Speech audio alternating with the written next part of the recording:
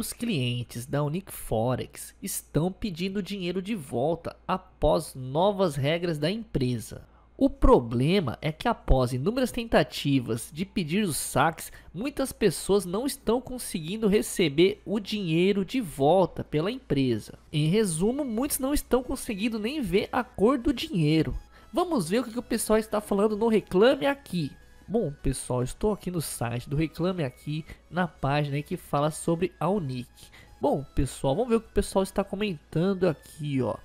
O Nick com problema de login. Estou tendo problemas para logar na plataforma após a atualização. Apenas mensagem de erro. Não consigo contato. O outro disse aqui embaixo. Quero cancelamento das minhas contas.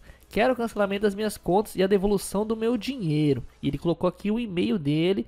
Tem também o reembolso.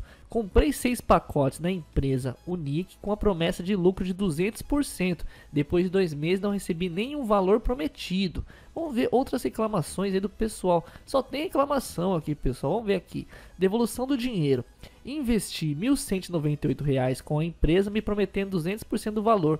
No entanto, tentei realizar saque e durante o processo dá para ver que o pessoal aqui está reclamando bastante. Prometeram uma coisa, agora teve essa desgraça de atualização e, né, F, tudo meu dinheiro sumiu. O que que não, o pessoal tá reclamando aqui, pessoal? Tá feia a coisa lá na empresa da Unique. É, pessoal, não é de agora que esta empresa tem sido questionada por muitas pessoas. Muitos dizem que a Unique nada mais é do que uma pirâmide e alguns chegam a comparar esta empresa com a Telex Free. Bom, pessoal, a lição que fica é que quando tem muita facilidade, muita promessa demais, desconfie.